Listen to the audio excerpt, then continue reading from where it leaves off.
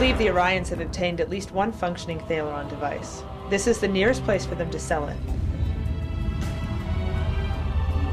If pursuing certain leads facilitates that mission, then I'll trust your discretion. Are we expecting combat? No, but Hell's Gate is what it is. But blind dedication to something can be just as harmful.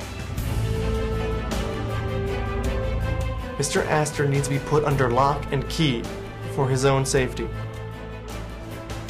Can you take off that captain's pip long enough to remember that he's your friend? It's because he's my friend that I've let this get so far out of hand. I respectfully decline your order. I have a mission to complete. We need to show results or Nap will pull the plug. I'll admit we're running a little low on ideas, but No, Jory.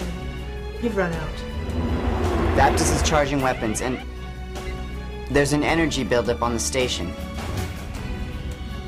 We're gonna make some mistakes, Joseph.